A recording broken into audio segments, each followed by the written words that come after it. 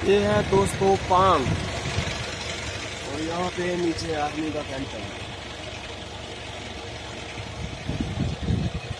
बहुत ही सुंदर नज़ारा है।